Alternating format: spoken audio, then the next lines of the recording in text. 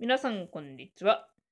今日は、ぐだぐだ料理教室の番外編ということでね、ちょっとやって、授業の方をやっていこうかなと思うんですけれども。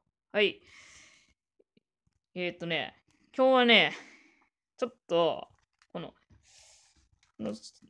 あのー、いや、これ、なんか母が、なんか昔、なんか若い時にったという、この昭和の香りが、プンスカピンな感じの料理本の、料理本に、えー、この真っ黒ご飯とかいう、なんかネーミングがめっちゃ面白いやつが出たので、ちょっと今日はね、この本の言う通りに、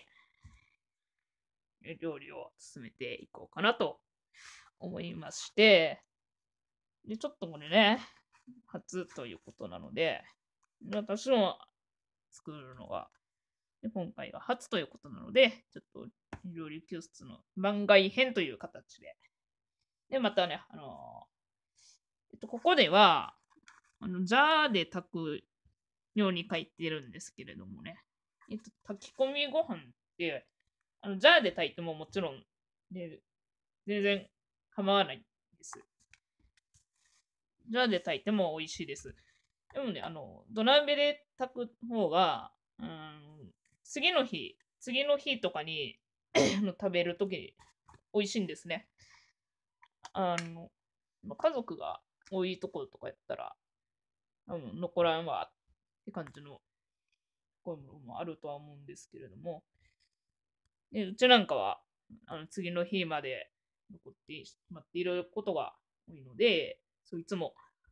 炊き込みご飯土鍋で炊く感じなんですけれども、土鍋で炊いた方が、もちろんじゃあやったら本は効くんですけど、あの保温で置いとくよりも、土鍋で炊いた方が、あの炊きたての状態で、えっと、次また食べれる、チンして食べれる感じなので、えっと、鍋だけの、えっと、次の日まで残っちゃうような時は、えっと、土鍋で炊いた方が美味しいかなと思います。はい、まあまあ、それもまあ人それぞれなので、はい、どちらでも構いませんが、えー、ここの本には、えー、じゃじゃあで炊くように書いてますけれども、今日今回はまた土鍋で炊いていきたいと思います。で、えー、土鍋で、えーと、ご飯を炊く炊き方のおさらいも兼ねて進めていきたいと思います。はい、えーとですね、それでは、えー、早速 まず材料を紹介していきたいと思います。はい まずお米。まあ、ご飯ですからね。真っ黒ご飯ですから。なんか、お米ですね。えー、3合分。3合分。グラムで言うたら、えっ、と、今日は480グラム用意しましたね。まあ、3合分で構いません。これを、えー、研いで、洗って、ざるにあげて、水気を切っておいてください。はい。それから、黒ごま。黒ごまが、えー、今日は、すり、この本には、ごまをフライパンでいって、油が出るまですり鉢でするとかなんか、ね、結構めんどくさそうなこと書いてあったんですけど、はい、今は、このね、すりごまという便利なものがございますので、こちらを使っていきたいと思います。もうこれね、吸ってあるので、その工程はしなくても大丈夫かと思います。で、これが、えー、大さじ3倍、大さじ3ですね。大さじ3用意しました。はい、それから、えー、醤油大さじ2から酒大さじ1。それからですね、えー、何？今日は、えー、昆布だしを抽出して、えー、用意しましたが、これを、えー、お米3合分の水加減ですね。で今日は、えー、540ml ということになります。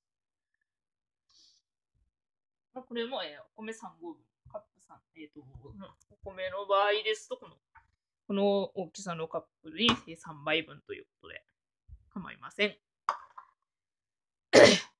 はい。それではですね、材料はこんなところなので、早速、仕込みを始めていきたいと思いますが、はい。じゃあちょっとカメラを。まずです。よいしょ。はい。まず、えー、本を見ながらやっていこうかな。このゴムはこのいる、いるやつになるんだよな。で、えー、この本で言うと、その行った後ですね。行って、えっ、と、すり込みにした後の工程を今からします。えー、醤油大さじ2とだし汁2分の1カップなので、えー、と 100ml ですかね。これを加えて、えー、と伸ばすそうなので、ちょっとその工程をしてみましょうか。はい。明かりで、ちょっと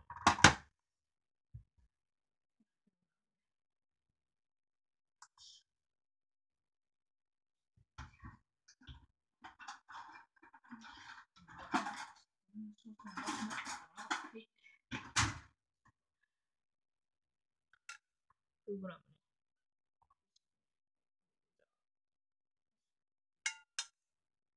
だしを100。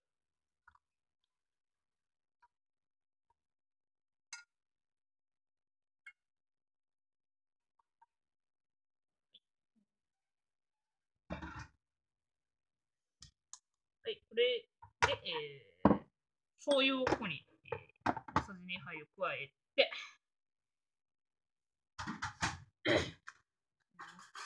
見逃すと。もうこんな感じですかね。梅のボールでやれよかったかな。こんな感じ？手伸ばす言ってもな。こんな感じか。めっちゃそばそば。はい。うん。多めなボールでやれよかったな。こんな感じですね。これを、えー、ちょっと待ってくださいね。こよいしょ。後ろにバックして。これを、えーと、今度は、ここだ。ここや、えー、伸ばして、えー、洗い米を入れて30分置くそうですので、じゃあ、えっとね、ちょっと鍋にやっちゃおうかな。待ってくださいね、ほんなら。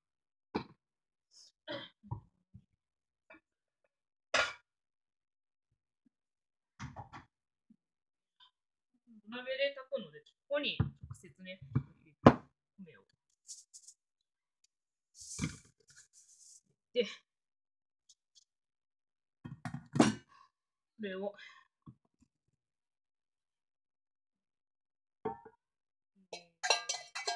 で、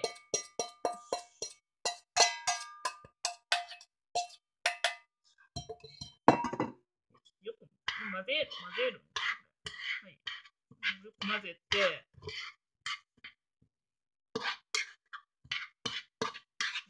ん、なんやろな、これ。よく混ぜて、なんかな米黒くなるの、これ。なんか不安になってきたな。こんな感じですかね。はい。はい、えー、これで、大体こんな感じやと思うんですけどね。これで、えー、今からちょっと30分ほど置くそうなので、えー、パート1は一旦ここで終わりにして、えー、次またパート2で、残りのダッシュを加えて、えーと、火にかけて炊いていくという工程を、え、やっていきたいと思いますので、一旦パート1ここで、パート1は、え、ここで終わり、えっ、ー、と、一旦撮影中断したいと思います。